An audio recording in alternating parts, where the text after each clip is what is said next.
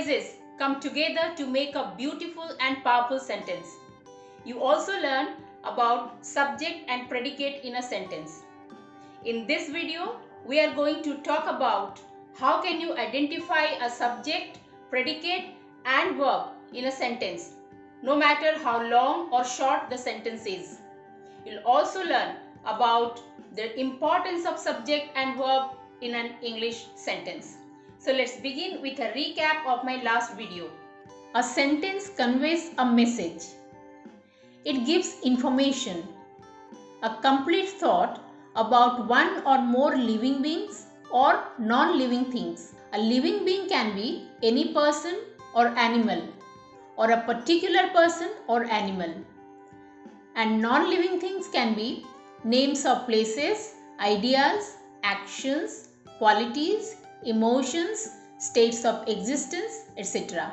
So that person, thing, place or idea is the subject in that sentence. Names of persons, places, things and ideas are called nouns.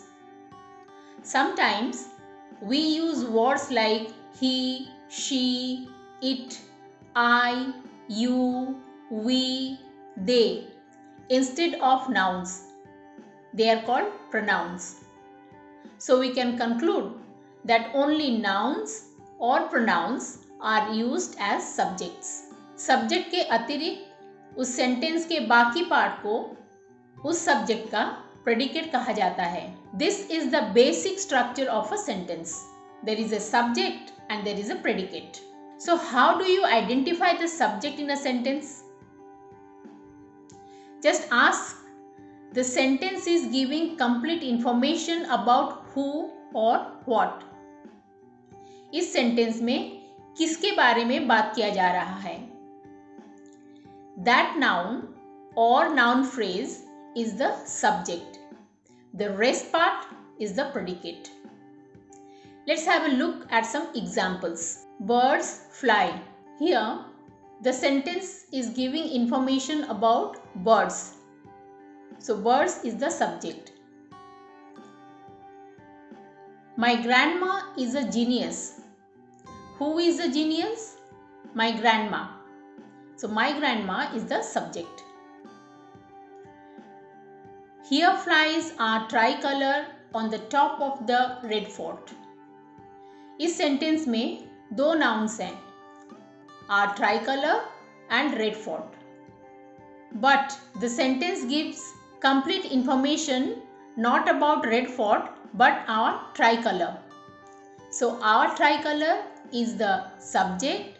He applies on the top of the red fort is the predicate. Our neighbor Mr. and Mrs. Sharma were attacked by some robbers last evening.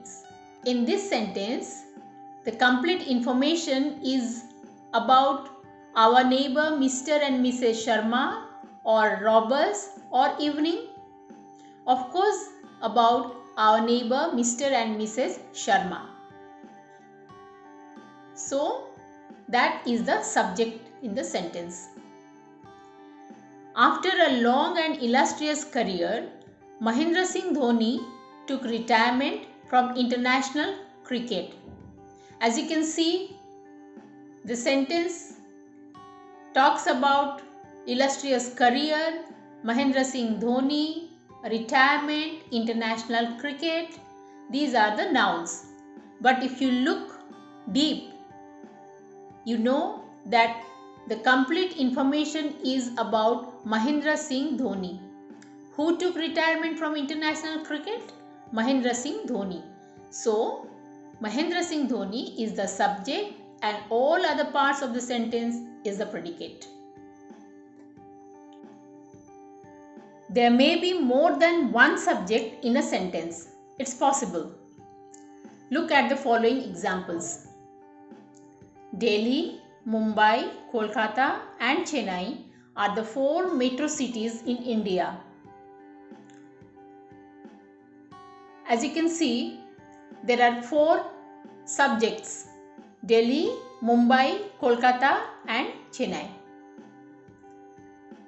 The next sentence Coal, petroleum, natural gas, and hydroelectricity have caused more fatalities than nuclear power. In this sentence, the information is about four nouns coal, petroleum, natural gas, and hydroelectricity. These are the subjects of this sentence. The next example.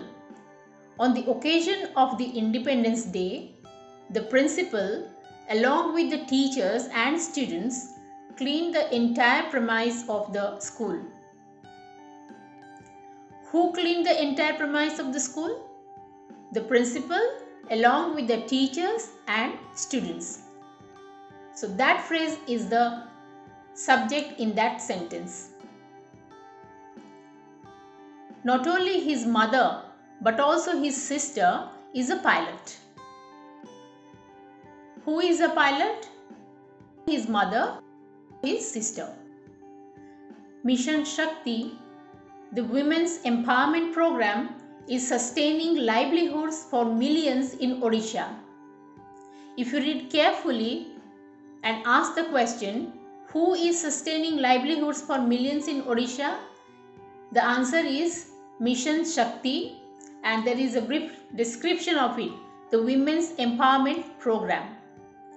So, Mission Shakti, the Women's Empowerment Program is the subject in this sentence. Now, as usual, the do it yourself exercise. Identify the subject and predicate in each of the following sentences.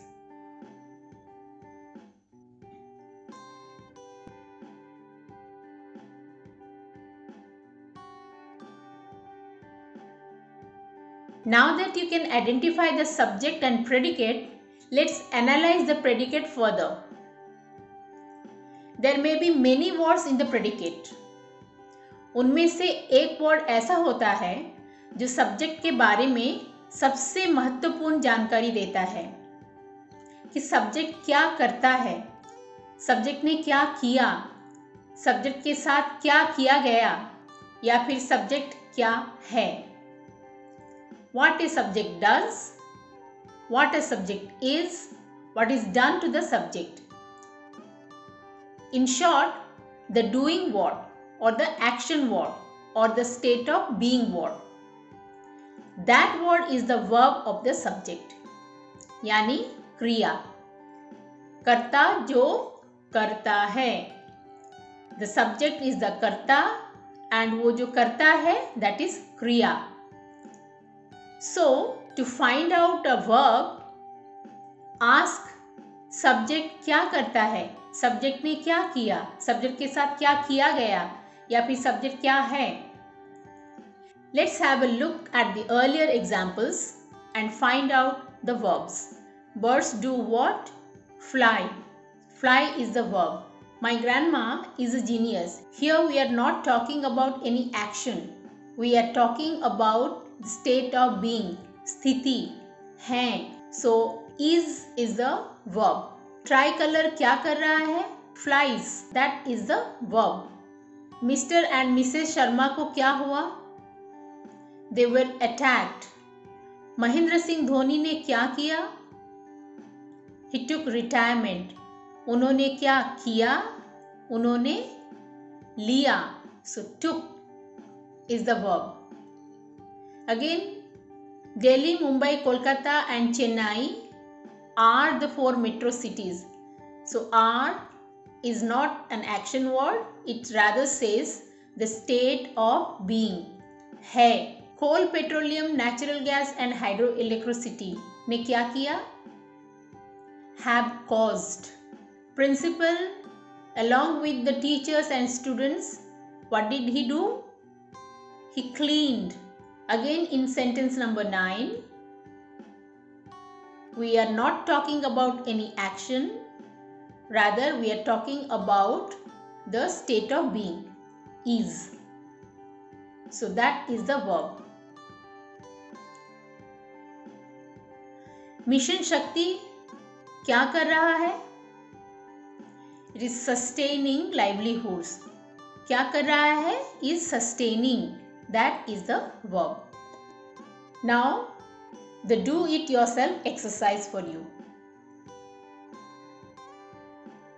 Read the sentence carefully and find out the verbs in the following sentences.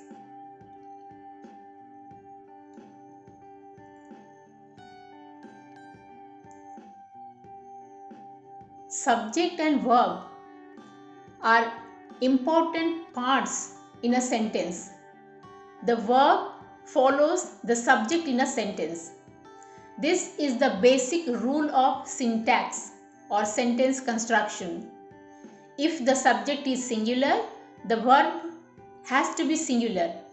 If the subject is plural, the verb must be plural. And this rule must be absolutely clear to you before you proceed. We said earlier that there can be more than one subject in a sentence. Similarly, there may be more than one verb of a subject. That is, subject एक से ज़्यादा काम कर सकता है which means there can be more than one action or doing or state of being word in a sentence. Also, there may be some helping verbs or auxiliary verbs like is, are, am, was, were, will, can, do, etc. to support the main verb in forming tense forms or negatives or questions. It is also possible that there are more than one subject who have different verbs. Let's study both. First, one subject and multiple verbs. The first example is I love and respect women. Here, the subject is I. I do what? I love and respect. Two doing words love and respect. So there are two verbs love and respect for a single subject I. Nuclear power plants heat water and generate electricity. There is one subject here nuclear power plants. वो क्या करता है? दो काम heat and generate so heat and generate are two verbs of the same subject nuclear power plants number three Taare Zameen Par is produced directed and distributed by Aamir Khan here the subject is Taare Zameen Par and there are three consecutive verbs produced, directed and distributed. These are the three main verbs supported by an auxiliary verb is. Number 4. We have neither spoken or written to each other after leaving school. The subject is we, which has taken two main verbs spoken and written, supported by the auxiliary verb have. Number 5. The National Recruitment Agency will encompass the role of three independent agencies and conduct a nationwide preliminary test for non-technical jobs in the government. As you can see, who will encompass and conduct? the National Recruitment Agency. That is the subject and it has taken two main verbs encompass and conduct supported by the auxiliary verb will. Now multiple subjects and multiple verbs. Ekta Kapoor directs and Tushar Kapoor acts in movies. We can see Ekta Kapoor and Tushar Kapoor, two nouns here. Ekta Kapoor does what? Directs. And Tushar Kapoor does what? Acts. So, for Ekta Kapoor, the verb is directs, and for Tushar Kapoor, the verb is acts. Two different subjects with two different verbs. Politicians, citizens together can stop and eradicate corruption.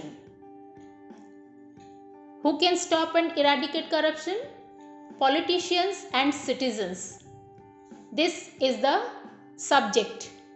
So there are two subjects politicians and citizens. And they have taken two common verbs. The main verbs are stop and eradicate and the auxiliary verb is can. We understand that trade is good. Who understands? We understand. So, we is the subject and understand is the main verb. What is good? Trade is good. So, is is the state of being verb whose subject is trade.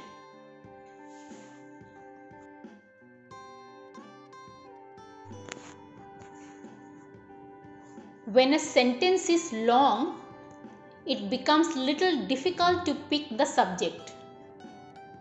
The trick is find out the verb first. That is the action word or the doing word or the state of being word that gives a complete information. Then ask who is the doer of that action or who is the agent. The question pattern will be who or what before the verb. कौन कर रहा है किसने किया कौन है let us have a look at some long sentences which appear difficult, but trust me, they are not. The first example regarding the UGC instruction on holding the final semester examination by September 30, different states on behalf of the students have filed petitions against the UGC in the Supreme Court asking for cancellation of examination. Quite a long sentence. If you glide through, you will see there are some doing words. You may get struck at holding, have filed, asking, these three. But if you analyze, then you will find that only have filed is giving a complete sense because only this verb has a doer of that action. Who have filed? Different states on behalf of the students. If you ask again, who have filed?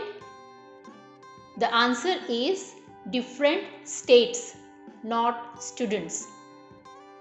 So, have filed is the verb and different states is its subject. Example number 2. Two players of the South Africa men's cricket team have tested positive for COVID 19 and will miss a specially arranged culture camp, the country's cricket board said yesterday. Let's look for the doing word or the verbs. So we have got have tested, will miss and said. Let's find out if they are the main verbs or not by finding out their doer or the agent. Who have tested? Two players of the South Africa's men's cricket team. Ask again. Who have tested? Two players, South Africa's men's cricket team. Who? Obviously, the answer is two players.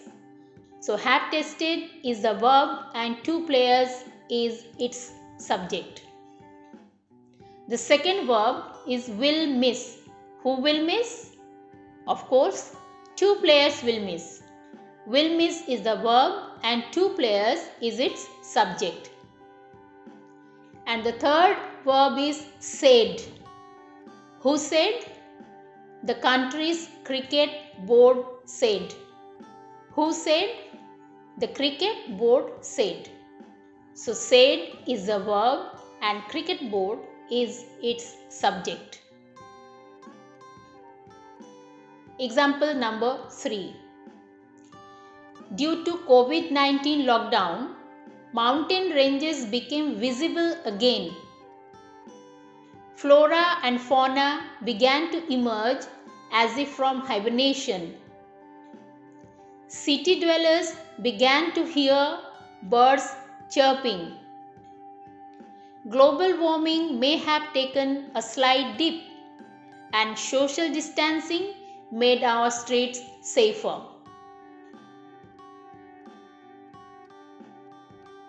Looking for the verbs we come across became, began. Also, you may get to emerge. Again, began, to hear, chirping, may have taken, and made. Now, if you analyze carefully, you will find that some verbs like to emerge and to hear are not giving complete information. Anyway, to plus main verb, which is called infinitive, can never be a main verb in a sentence. You will learn about them later. So let's come from the beginning. Became is the verb. What became? Mountain ranges. So, mountain ranges is the subject for the verb became. Then began. What began? Flora and fauna. So, began is a verb and flora and fauna are the subjects. Again, began this time, who began? City dwellers. So, began is the verb and city dwellers is its subject. May have taken. What may have taken? Global warming may have taken. So, may have taken is a verb while global warming is its subject. And the last, made. What made? Social distancing. Made is the verb and social distancing is its subject.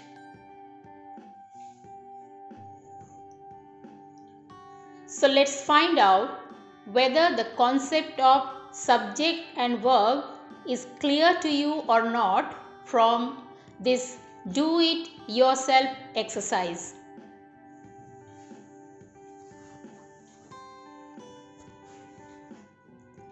A sentence is like a body. Subject is the head or rather the brain and the verb is the heart. Both are two vital organs of a sentence. A grammatically correct sentence must have a subject and a verb, if not anything else. However, in some sentences subject is missing but it still may be a grammatically correct sentence. Just like sometimes the brain of a person or animal is dead but the heart still functions. Therefore, the person or animal stays alive. Examples of sentences without subject are Listen carefully. Have some juice. Don't go out without a mask. As you can see, the subject is missing. Who must listen carefully? Who should have some juice? Who must not go out without a mask? Here, the subject is in fact you. You listen carefully. You have some juice. You do not go out without a mask. But it is seldom mentioned. These types of sentences are used when we make request, give advice or order. They are called imperative sentences. You are going to learn more about different types of sentences, their functions and forms in my next video. Till then, pick any sentence from a news article and dissect it, bisect it to extract the verb and its subject. This will be your crucial step in identifying a correct sentence and identifying an error in a sentence.